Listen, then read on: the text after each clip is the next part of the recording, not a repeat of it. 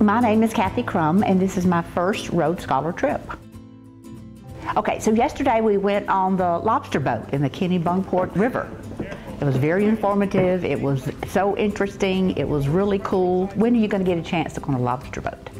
I thought that was great. The instructors on the lobster boat were so informative. Watching how they actually do the lobster catching with the baits in one end of the cage and bringing lobsters in and putting the rubber bands on them even and, and the things about some of them having only one claw because they fought or whatever's happened and that they grow back. That was all very interesting.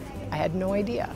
I think it's absolutely beautiful. It's so picturesque. It's just everything you imagined it would be the scenery, the trees, the hills, the mountains. Beautiful fall colors. It was probably one of the things that I enjoyed. It's always fun to taste wine and see what different areas produce as far as grapes and this type thing. And some of the places they had grapes I'd never heard of, and so that was interesting for me.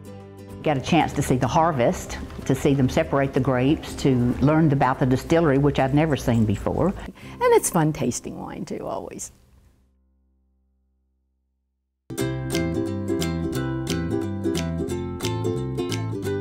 It's interesting to see all the lighthouses and so forth and that because I'm from a totally non-maritime area. Right, and it seems like every chance they have there's some kind of education. We did the artisan breads the other night.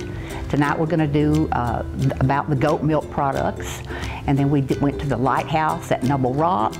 The light was just beautiful there and the rocks and all the uh, water coming up and everything.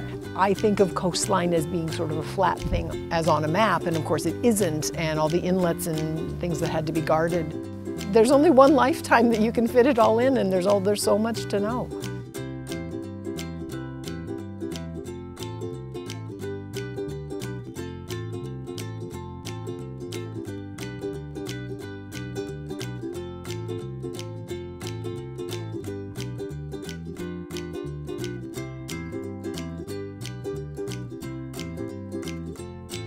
Let's go, let's see what we might learn.